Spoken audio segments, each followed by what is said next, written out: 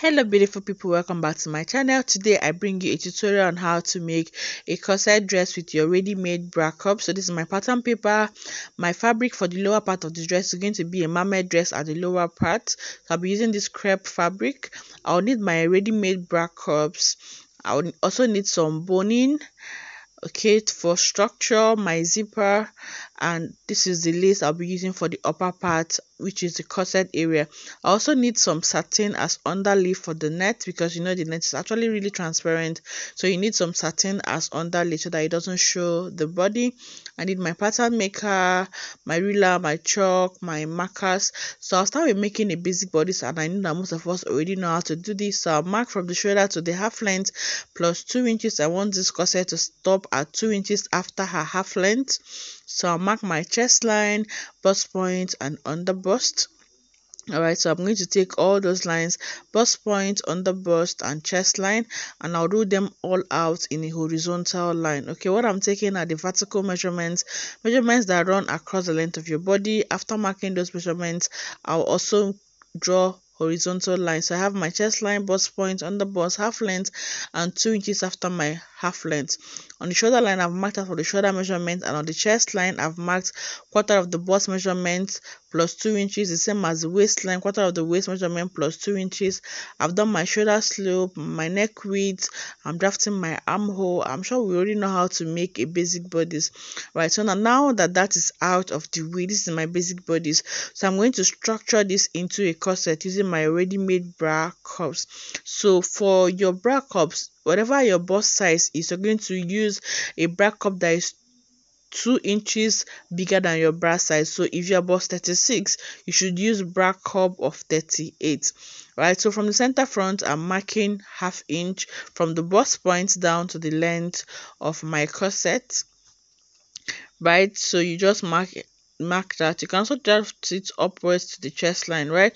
So you're going to get your um, already made bra cups. Look at what it looks like. So you place it starting from the under bust you're going to make sure that the tip of the bra cup touches that half inch line that you made initially okay? And the base of the bra cup rests on your under bust. Now there's something i like to do. If my under bust is 15 inches i like to mark 14 and a half okay? Because you would need the corset to lift your bust okay? To, to create that lift that you'd get right? So that your uh, your bust is not like flabby or I, I don't know the right word to use. But yes i always um take out half inch from my under bust when i'm making a corset just to make the uh, boob area firm and it won't be dropping right? So that's what i like to do. So what i'll do is to place the bra cup let the base of the bra cup touch the under bust and the tip of the bra cup to touch the half inch line we made and i'll just draw uh, the shape of my bra cup right? So i've taken it out. This is what the shape looks like. Okay? So i'll be connecting you either connect straight like this but i like to take it to the chest line so that um it ends at the armhole right? So that it maybe gives it some balance and not uh, the corset moving down from her bust because the armhole area is now at the bust point. So that's why i like to take it out to the armhole. Right so if i measure the allowance i have on the corset at the base you can see there's a dip there and it's half inch. So that'll be the allowance i'll be needing to attach this bra cup to my corset. So what i'll do is to go and mark half inch round the cup that I've already made a seam allowance. So you can see if I measure the bra cup, I have half inch before the deepness of the cup, right? So that means I'll need half inch seam allowance to attach this cup to the corset pattern that I'm making. So I'm adding half inch round the cup as seam allowance. Okay, I've already said this before, but just making it clear so that we know what we are doing right. So take it till you get to where the bra cup stops and you're going to connect it back to have your circle. Right. So you can actually leave your um armhole line to stop at where it is. You can also stretch it stretch it to the chest line. That is entirely your choice. Okay. So when i'm done doing this I'll make sure that all of these align, right? So after adding this seam allowance, okay, this upper part becomes your yoke, okay? You can just cut it out. It is your yoke. That's why I actually drafted the basic bodice If not, I'll just start taking my measurements from the underbust. But because we, you might want to use a yoke, that's why I taught us how to make the basic body so that the upper part can serve as your yoke. Now, because I'll be needing half inch allowance uh, to use my lining to turn the main fabric i'm going to extend uh, up by half inch like on the two sides okay on the center front and on the side front. Just half inch i'll connect this side back to the armhole then I've already done the other side. Connect go up by half inch and take it back to its original point. So this is what I've done here and I'm actually done drafting um, my corset for the front. So I'll just go ahead and cut this out. This is actually one of the easiest methods I know on how to make a corset using your already made bra cups. It's as easy as what we've just done here. In five minutes you're done drafting your corset pattern. So like i said if you want a yoke you're just going to cut out this part and it will serve as your yoke. So you can use your nude net your skin tone net or um your lace whatever you want as your um yoke. But for the corset dress i am making I, I don't need a yoke. It doesn't require a yoke for what i'm making so wouldn't be attaching a yoke. Now i'll get another pattern paper for us to draft the back of this corset. So i've gotten a plain pattern paper and i'll just place um the already cut out front. That's before cutting out my cup right? So you know we need um zip allowance of two inches at the center back. So you can do two inches one inch 1.5 whatever suits your preference. Well me i'm doing two inches zip allowance. So i'm marking two inches zip allowance at on this pattern. I'll connect it to a straight line. Then afterwards i'm going to get my front pattern and place it directly on the back pattern starting from where i have my two inches zip allowance. Okay so the back is really easy. There is no drama at the back. Just place the front on it starting from your zip allowance and you're going to trace out the shape you have. I'm not cutting it out now because i want to make a little adjustment to the back just so that it doesn't um gape or give me bulge at the zipper area. So i'll go up by one inch okay at the zipper area. Okay then i'll connect or slant it to the side seam. Okay so when i do this it's going to reduce the zip allowance at the back okay the vertical zip allowance at the back or and at by so doing is going to make uh, the back so flat and you wouldn't have bulge um, at the back so what I'll do uh, would also to mark half of my bust span measurement. That's if you want to have a dart at the back. So I'll take a dart of half inch on both sides. The bust span is nipple to nipple measurement from one point of the nipple to the other. So you connect that upwards to upwards there and you also connect like so remember half inch dart allowance so because of this dart you need to replace the dart so i'll add back one inch to my waistline and connect it right to the bust um, area. Okay so this is the only modification you need for the back. And i don't want to have a dart at the back because i'll be using boning. So i'll just use my stitches to create channels for the boning at the back. So i wouldn't be needing a dart but if you want to attach that to yours you can feel free to do what i have done here. This is just for illustration purposes. So when i'm cutting my back i'm going to take out the dart area because i do not want to use a dart i'll be using boning to create structure for this corset. So what i'm doing next is to notch my zip allowance and also notch my dart allowance. If i'm going to be attaching a dart you can also decide to cut out your darts okay so you know that what we're working on is the back pattern so just labeling it. So you can also decide to cut out your darts but when when you do that it means that on your fabric you're going to be adding half inch to this side and half inch to this side as seam allowance to attach the dart that you've already cut out. So back to the front. Now that we're done doing the back we're just going to cut out the cup shape. Okay just following the same allowance that we give i'm going to cut round this pattern and automatically we have our pattern for the front okay? So when i cut out i'll just go and place this on my lace fabric and cut it out. Also cut it on my um satin and also use the same satin as lining. So i'm going to be cutting out three pieces of this front pattern. One is for the lace the other one is for the satin the underlay for the satin. And i'll also be using cutting another one as my lining. The only thing is that i'll be using the satin as lining. So you can also go ahead to use your normal lining to cut that okay? But i like to use my satin as lining as well.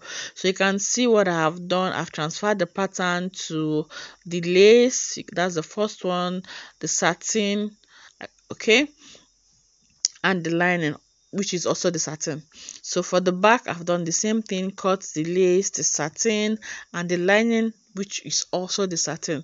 Like i said i'm using the satin as lining. I'm using as underlay and as lining all right so i've notched my um zip allowance and my that area.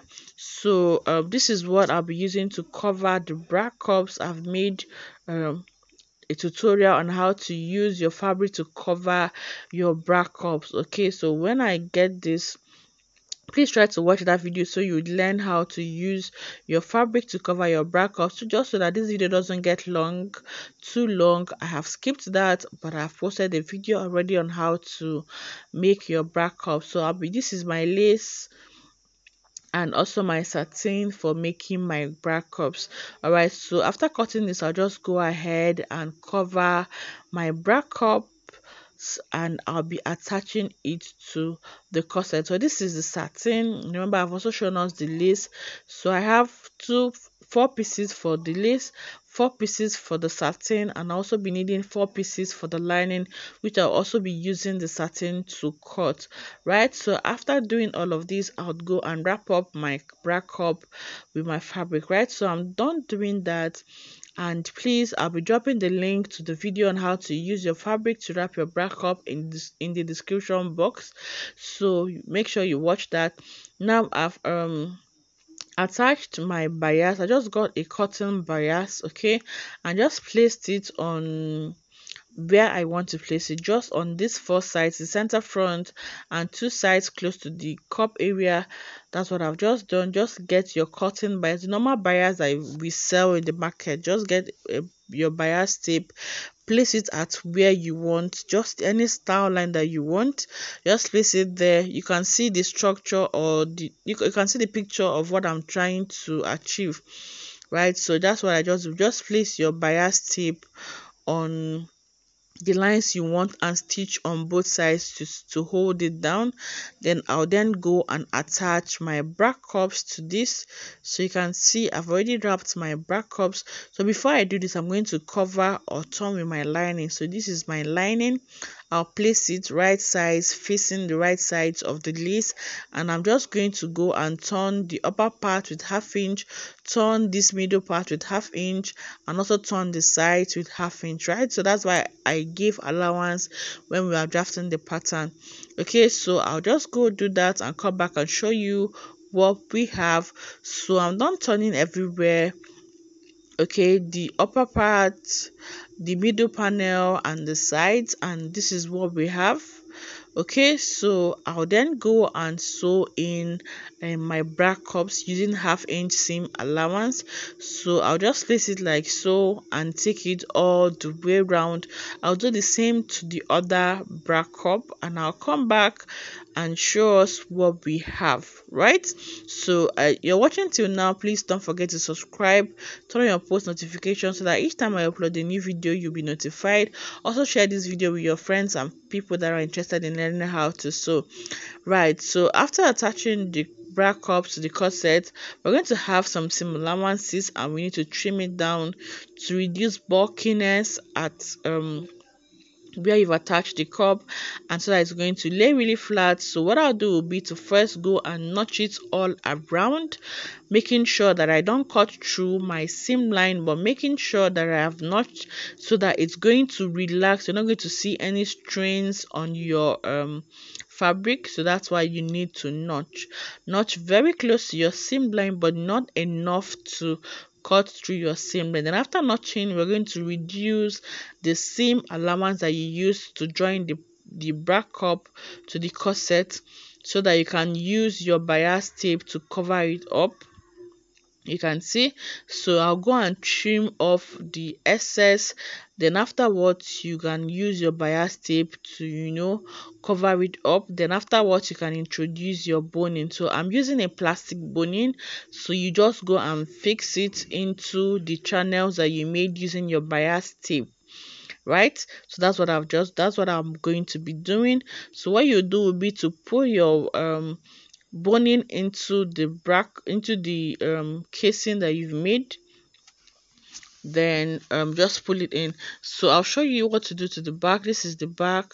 Okay i've used um i've attached the lace to the satin which is the underlay okay? So i used hemming gum to do this. Just you place hemming gum on the satin then you place the lace on it. Use your steam iron but not press it like don't press it directly on the fabric so that it doesn't burn your fabric. You can place a plain material on it then you iron so that the lace would adhere to the satin. Right so i've used this is the lining. So i'm pressing the lining lining right side facing each other and i'll go and stitch it all round. Stitch through the zip allowance the upper part and by the side seam okay? So leaving only the half length right? So you want to get a clean finishing so through the zip allowance the upper part and the side seam. You go and notch it all around use your hemming gum inside it pull it all out and iron so that everything lays really really flat right?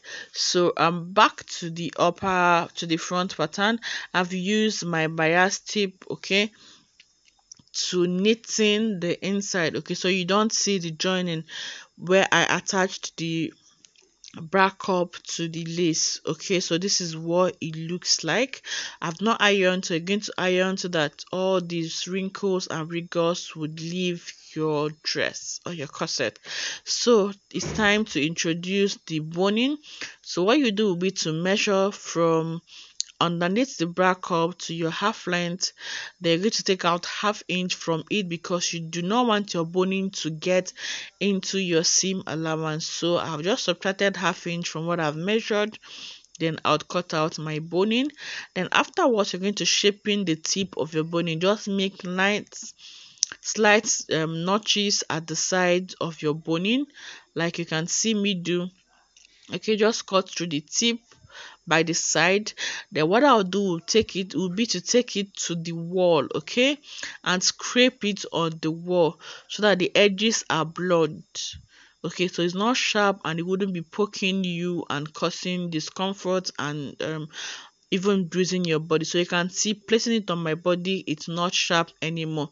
So i would then put it into the casing that i made using my bias tape.